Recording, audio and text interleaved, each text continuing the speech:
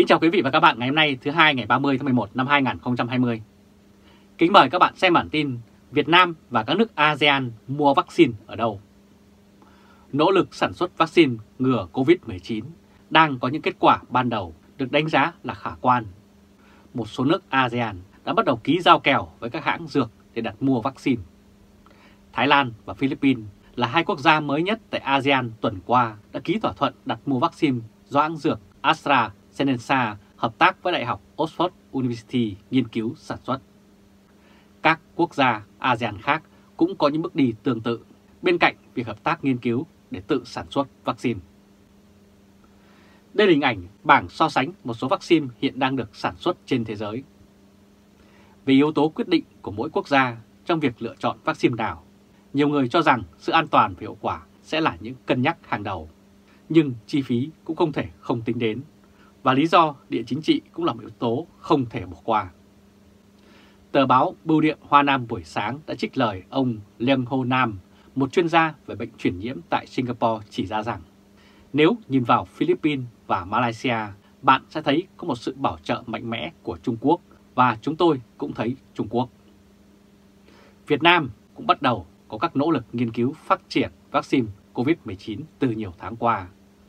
Thông tin mới nhất do báo Tuổi Trẻ dẫn lại cho hay chậm nhất là đầu tháng 12, vaccine do công ty Nangogen phát triển trên công nghệ tái tổ hợp protein sẽ được tiêm thử nghiệm trên người ở giai đoạn 1.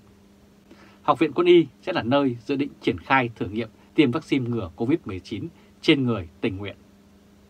Giới chức y tế cũng cho hay vaccine COVID-19 Made in Việt Nam, tức là sản xuất tại Việt Nam, ra đời nhằm đáp ứng nhu cầu trong nước tự chủ, làm nền tảng để phát triển vaccine đối phó với các chủng virus corona khác trong tương lai. Tuy nhiên, khả năng vaccine của Việt Nam được sản xuất sớm cũng như đủ liều để tiêm phòng trên diện rộng là rất thấp. Do đó, nguồn cung từ bên ngoài vẫn là chính yếu. Tại buổi họp báo thường kỳ tại Bộ Ngoại giao diễn ra vào ngày 15 tháng 10 năm 2020, người phát ngôn Việt Nam và Lê Thị Thu Hằng xác nhận Việt Nam đã đặt mua vaccine Sputnik 5 từ Nga và vaccine của Anh. Số liệu cập nhật mới cho thấy Việt Nam đến nay đã có 1.341 ca dương tính, trong đó 1.179 ca đã khỏi và 35 ca tử vong.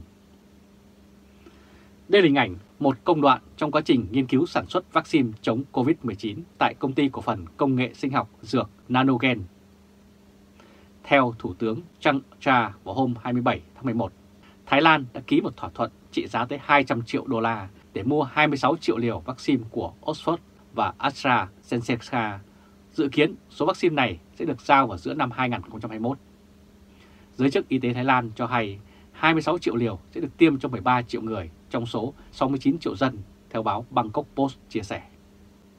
Tính đến nay, Thái Lan có 3.961 người nhiễm và 60 ca tử vong. Còn tại Philippines, vào ngày 27 tháng 11, hơn 30 công ty tư nhân đã ký một thỏa thuận mua ít nhất 2,6 triệu liều vaccine từ AstraZeneca. Các chủ doanh nghiệp cho biết họ có kế hoạch hiến tặng phần lớn số vaccine cho chính phủ và sử dụng phần còn lại để tiêm cho nhân viên của họ.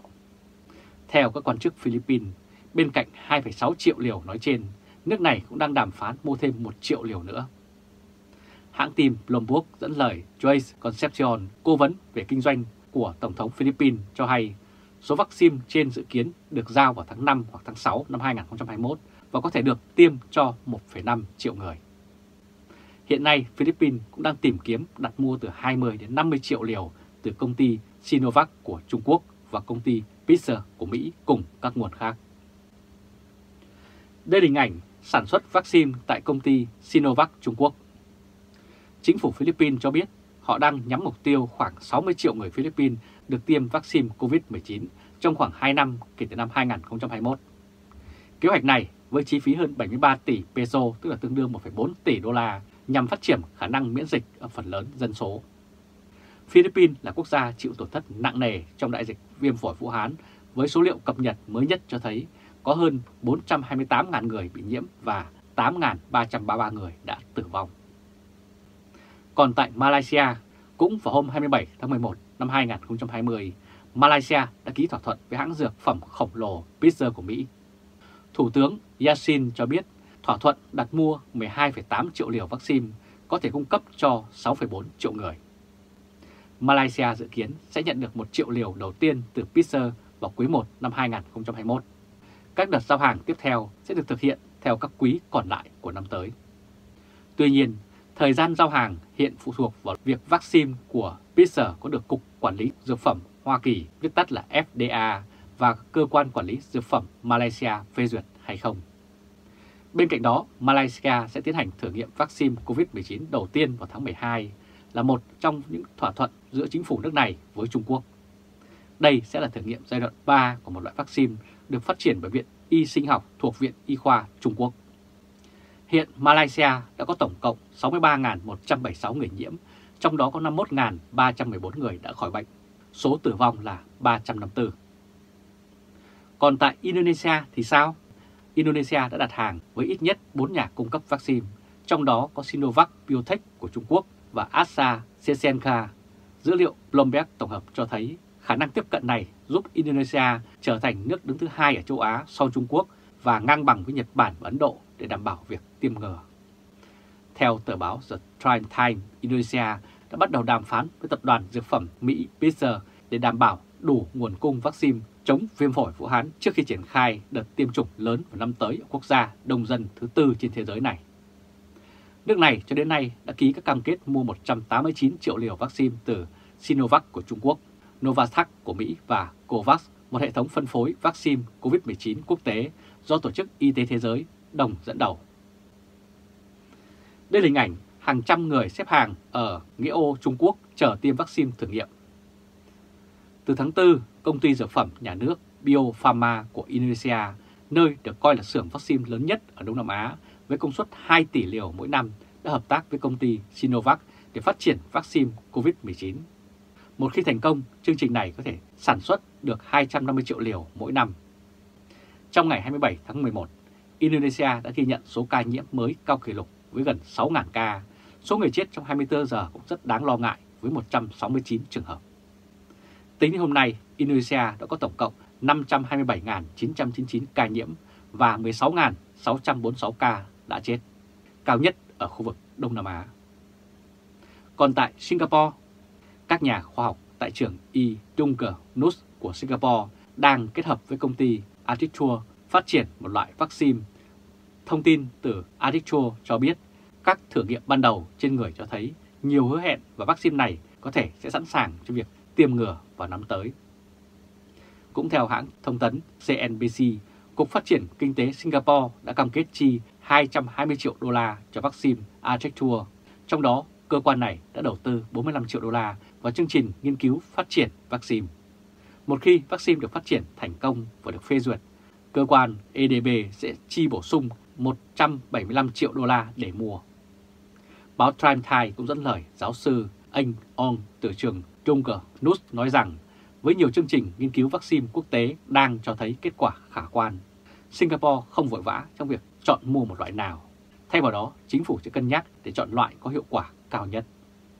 Singapore được coi là một nước thành công trong việc chống dịch COVID-19. Đến nay, nước này có 58.205 ca nhiễm, trong đó 58.119 ca đã bình phục. Số người chết chỉ có 29 người. Và những người Mỹ đầu tiên có thể được tiêm vaccine COVID trong tháng tới. Đây là hình ảnh một nhân viên kiểm tra các tủ đông chứa vaccine ngừa COVID-19 ở cơ sở của công ty Pfizer tại khu Push, Bỉ. Theo lời người đứng đầu chương trình vaccine virus corona của Mỹ, những người Mỹ đầu tiên có thể được tiêm vaccine COVID-19 sớm nhất là vào ngày 11 tháng 12.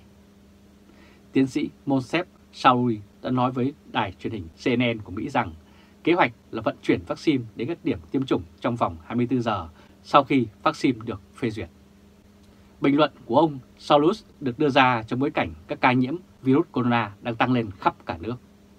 Theo số liệu của Đại học John Hopkins, Mỹ đã ghi nhận hơn 12 triệu ca nhiễm và 255.000 ca tử vong vì virus corona. Đây là những con số được ghi nhận cao hơn bất cứ đâu trên toàn thế giới. Công ty dược phẩm Mỹ Pfizer và đối tác BioNTech đã nộp đơn xin cấp phép khẩn cấp cho vaccine COVID-19 của họ tại Mỹ vào thứ Sáu.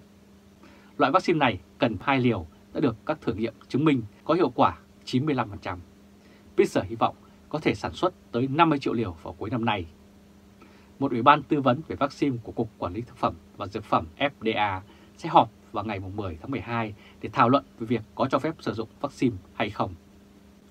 Tiến sĩ Saulus cũng nói với CNN rằng nó có thể được triển khai vào ngày thứ hai sau khi được phê duyệt. Vaccine cũng được phân phối dựa trên dân số của mỗi tiểu bang.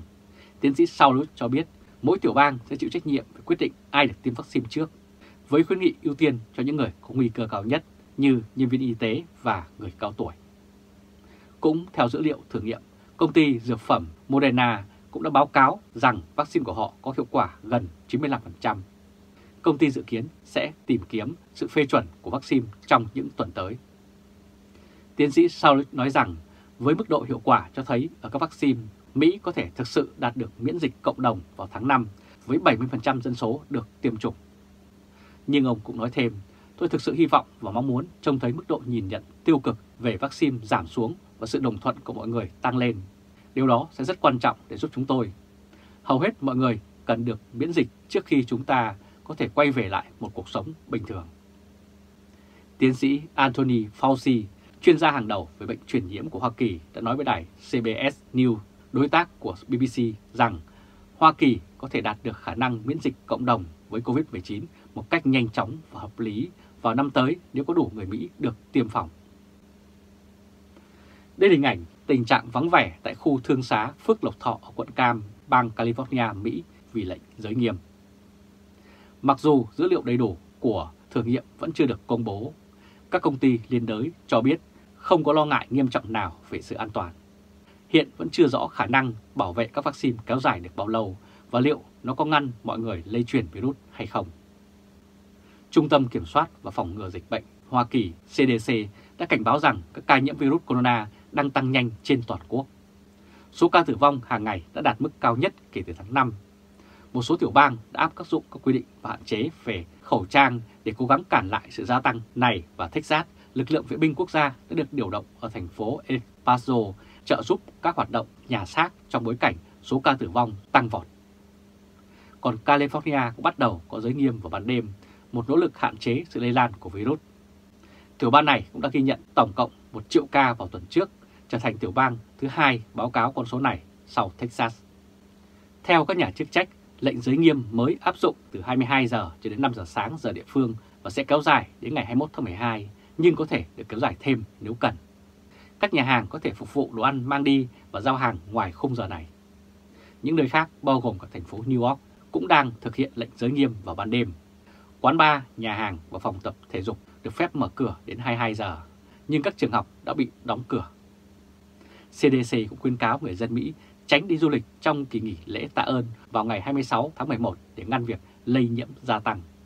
Và lễ tạ ơn thường báo hiệu tuần lễ du lịch tấp nập nhất ở Mỹ.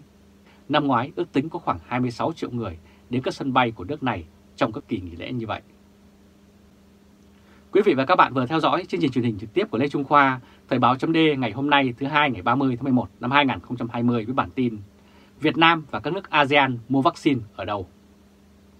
Quý vị và các bạn hãy chia sẻ video này cho nhiều người biết và bấm nút theo dõi YouTube và Facebook của Thời báo .d để luôn được cập nhật những bản tin mới nhất, nhanh nhất và trung thực nhất. Từ Berlin, Cộng hòa Liên bang Đức, chào các bạn và hẹn gặp lại các bạn vào bản tin lần tới. Trung Khoa Thời Báo .de.